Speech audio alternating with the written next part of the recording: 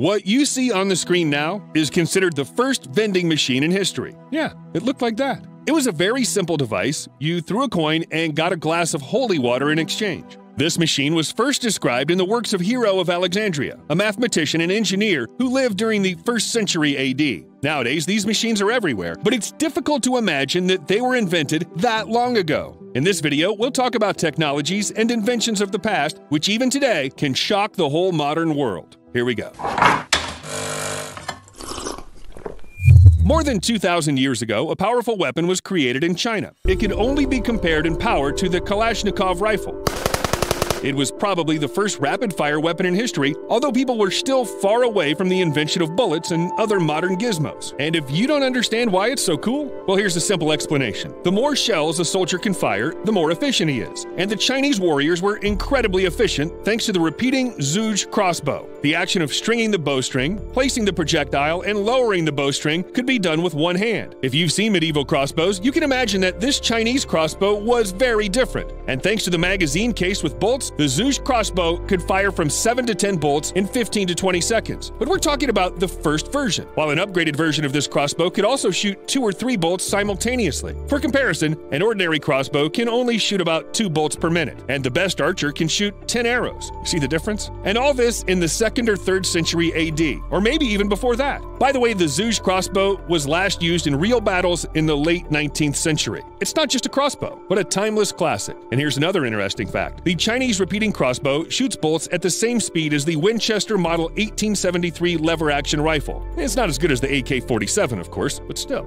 However, the automatic crossbow rifle is not the only technology of ancient China that amazes us. In southeast China, archaeologists found a 2,000 year old working tool. It's a hydraulic hammer. Water plus gravity are the perfect tandem for agricultural work. The flow turns the logs, and the hammers fall under their own weight, hitting the grain and crushing it. No electricity, no physical labor, no lunch breaks. The hydraulic hammer can work 24 hours a day, 7 days a week, and each hammer will hit with a force of 445 newtons. So one machine will be able to replace up to 10 people. And it doesn't need to eat, sleep, snack, or check their Instagram feed. It's very convenient. Chinese craftsmen were far ahead of their time with this invention, at least by, I don't know, 15 years. For years, the hydraulic hammer was used to crush grain and produce flour. But some centuries later, it was used for metal casting during the Chinese Industrial Revolution. And it's still used all over the world in modern factories 2,000 years later. Of course, hydraulic hammers look and work a little differently today, but the principle remains the same. All right, let's leave China and move on to ancient Egypt. When it comes to ancient vehicles, what do you imagine?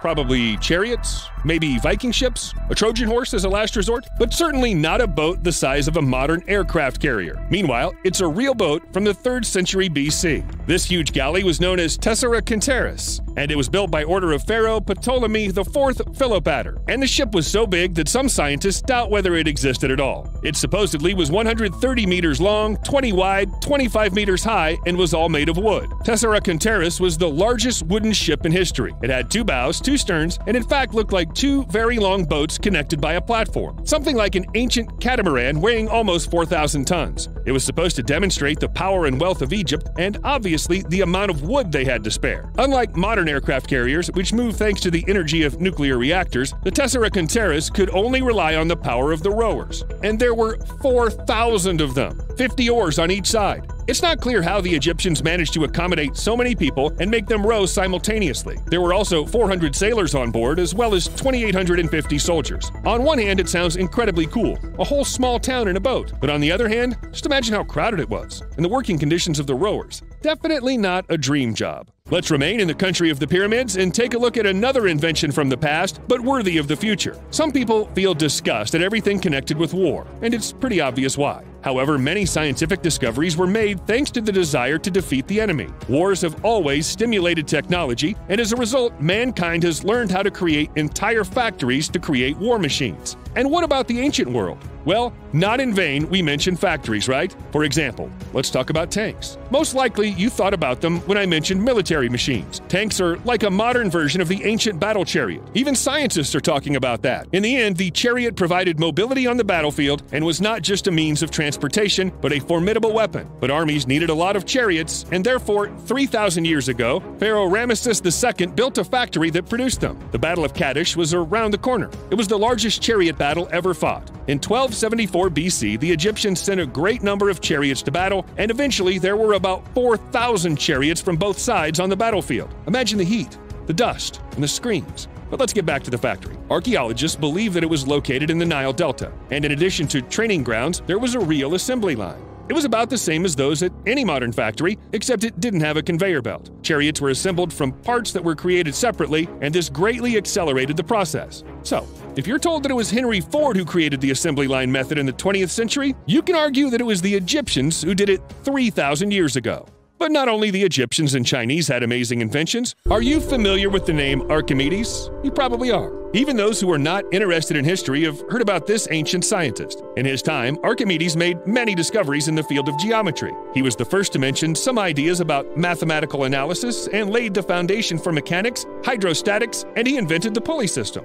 Today, it's used everywhere, but in ancient times, heavy loads were lifted only by people, and the heavier the load was, the more people it took to lift it. For example, to get something off the ground that weighed a ton, it was necessary to call at least 40 people. Can you imagine how hard it was to build anything? Wow! But Archimedes came up with a way to make people stronger without any mutations. Only a system of pulleys and winches that made it easier to lift any load. In simple words, the weight of the cargo is distributed on a rope. The longer it is, the more weight a person can lift. And although the whole process takes more time, it can be done with less than 40 people. There's even a legend that Archimedes alone was able to pull a ship to shore using only his pulley system. Hopefully, then he watched a bunch of people trying to push the ship back into the water and giggled. Okay, well, Archimedes and his pulleys, ropes, levers, and other inventions are quite famous. But what if I told you there's at least one copy of a Swiss Army knife in the world which is 1800 years old? And of course, it's not from Switzerland. The knife was actually created by Roman craftsmen. It includes a spoon, a fork, a knife, an awl, and a small shovel. Everything that a rich traveler needed in ancient times. I have no idea what he did with the awl and the shovel. Needless to say, the metal faded a little and bent over time, but if you could look at a modern copy, then,